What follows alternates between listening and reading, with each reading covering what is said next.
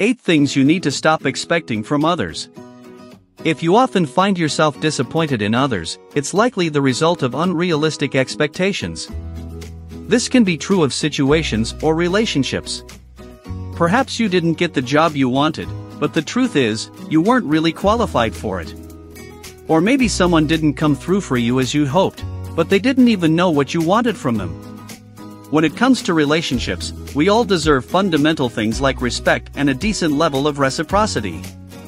But we also have to remember that we're all at different places in our lives, and some people just can't meet you where you're at for various reasons. You can build better relationships with others when you stop expecting the following things from them. Number 1 Constant Agreement. If you want everyone to agree with you on everything, you might be waiting a while. Everyone's entitled to their own thoughts and opinions. After all, those differences bring out unique perspectives and help us evolve and find better solutions. Instead of getting bothered or upset when someone disagrees with you, be open to their perspective. If you still don't agree, persuade them with objective data, research, and facts if appropriate to the situation. If, for example, you're working on a group project and you're absolutely sure of something, make your case for it so you can decide as a group on how to proceed. However, if it's something where consensus isn't required, it could be best to just listen and accept their opinion for what it is. That won't make your viewpoint any less valid. Number 2 Purely positive regard. You can't please everyone, and you shouldn't strive to. Doing so can be detrimental to your mental health. You see, the opinions of others don't determine your value. You will always have critics, people who dislike or disapprove of you and how you live your life. But this is often a projection of their own inner conflicts rather than an actual problem with you. You may remind them of someone who hurt them in the past, or they may be jealous of you and your success. Their negativity isn't worth your time. Instead, focus on those who lift you up, treat you with kindness, and appreciate your uniqueness. Number 3 More respect than you give yourself. Respect starts from within. So, if you want to be respected, you must first respect yourself. Self respect manifests itself in how you conduct and treat yourself, and that sets the standard for how others will treat you. If you struggle with self respect, remember to be kind to yourself.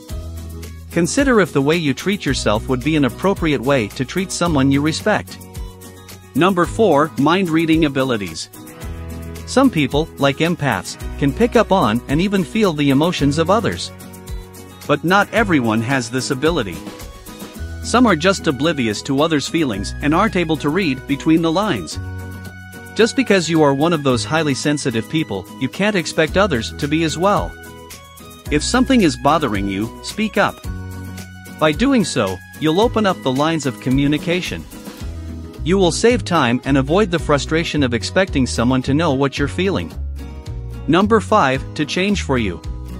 Whether it be a friend or romantic partner, and there's just something about them that you are secretly hoping will change, the reality is, it likely won't. Think about what it is that you're expecting of them. Is it significant and realistic?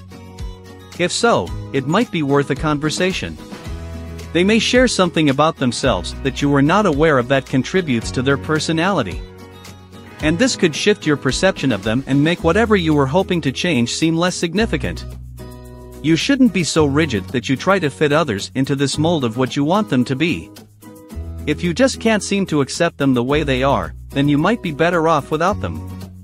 However, regardless of your differences, by being understanding, accepting, and loving, they may naturally develop into what you desire or something even more remarkable.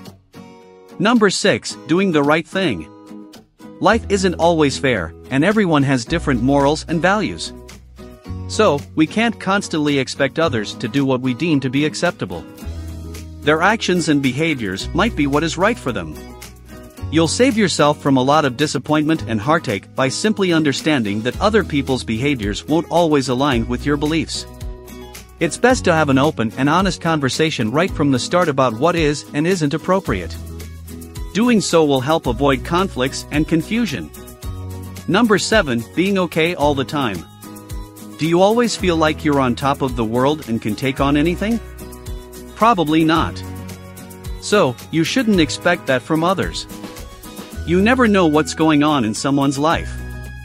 They could be sick, exhausted, or stressed. Or they could be dealing with a problem at work, school, or in another relationship. Telling someone to shake it off can seem insensitive and dismissive of whatever it is they're going through. We all experience ups and downs, and when someone is down, you should try to react with compassion and kindness. That could be just what they need to get them out of that slump. Number 8 A relationship at any cost. People come into your life for a reason, season, or a lifetime. Sometimes the reason is just to teach you a lesson. Other times, they could be there a little bit longer, but you have to accept that that season will eventually come to an end. These people are the ones that are often the toughest to release, but sometimes the happy ending is simply letting go. It's the lifetime ones that you should really cherish. They'll be by your side in the good times and the bad. There will also be times where you have to stand on your own. This can be uncomfortable and lonely, but you will learn just how strong and resilient you truly are, so don't back away from these situations either. People will rarely meet all of your expectations. Sometimes they might not even know something's off, and other times you just have to accept them for how they are. Expectations can cause turmoil in relationships. They're only natural, of course, but you shouldn't set them so high that no one can reach them. The most important thing is to find a balance between your expectations of others and what you have to offer. If you enjoyed this video, give it a thumbs up and share it with your friends so we can keep making them.